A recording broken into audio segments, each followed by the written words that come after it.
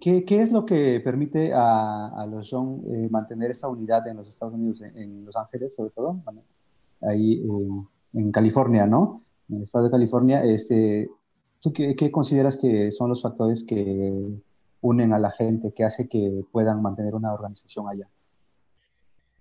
Ay, pues no sé, ¿eh? creo que es nuestra manera organizativa, porque todos los Rons que viven aquí, pues crecieron en el pueblo, hicieron su tequio, hicieron su, fueron topiles, ¿no? Y casi hicieron algún cargo y creo que eso se replica aquí la manera de vida y creo que eso es lo que ha ayudado muchísimo a mantener esto de ser muy serranos, ¿no? Porque en, en una cosa que los serranos siempre nos dicen, un día estaba con un amigo serrano y le dije, oye, es que vienen, era una cena que hice antes de COVID y le dije, también vienen unos amigos de Matatlán.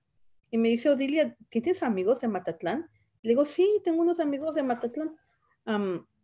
y me dice, pues te voy a decir que nosotros sufrimos muchos, ah, los serranos sufrimos mucho en manos de, de, los zapotecos del valle, en los restaurantes, o sea, entonces me empezaron a contar historia varios serranos de, del maltrato que recibieron de los zapotecos del valle, ¿no? Era como que me dijo, mejor me voy de tu casa porque uh, yo la verdad me siento súper incómodo por este racismo que sufrí de otros zapotecos. Um, y pues que, y, y no sé, um, yo creo que varios hemos sufrido como, um, todos hemos sufrido de alguna manera algún ataque, ¿no? Pero en particular me ha pasado a mí con los valles, pero los RON son, son esa manera de organizarse, tal vez porque no, no podría darle como un nombre el por qué la unión de los RONs, pero aquí sigue y aquí se vive.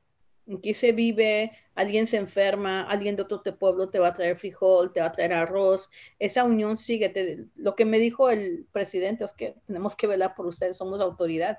Para mí eso no se me olvida porque eso es como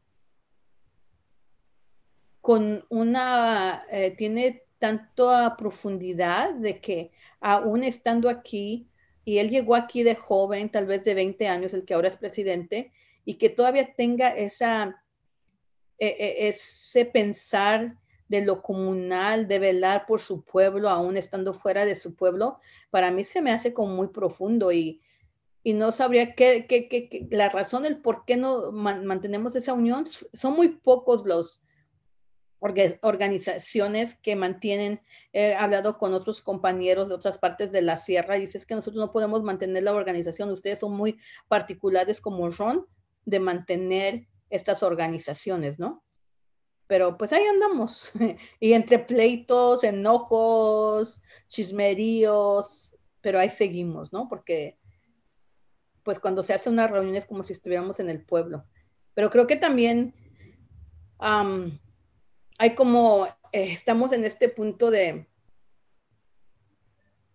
algo ha funcionado para que sigamos aquí, pero ahora regresan los jóvenes y dicen, pero ¿quién se quiere sentar ocho horas en una reunión? ¿Por qué no hacemos una agenda y lo hacemos en dos horas? ¿No?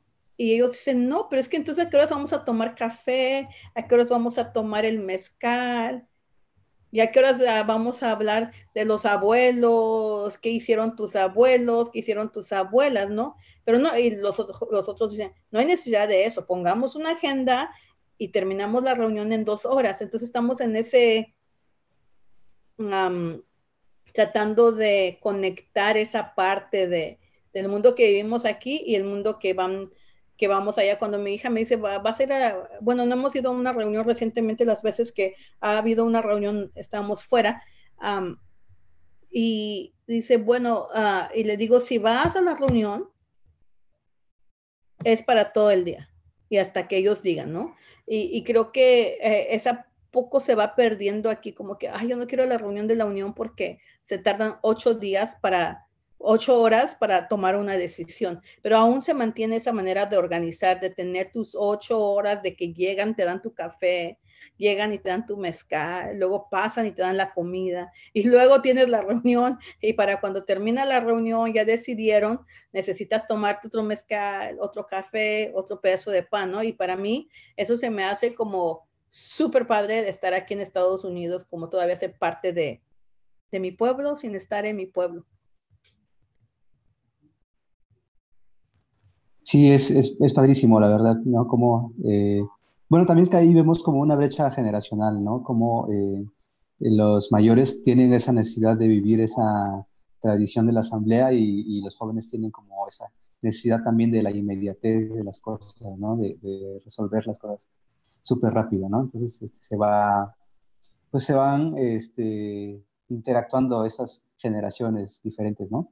Sí, pero se van ajustando también, pues por ejemplo, en el caso de, los jóvenes, hicieron su danza, se fueron al pueblo a danzar el año pasado, ah, participan, pero tenemos que tener como una balanza, ¿no? En, un punto medio de ambos.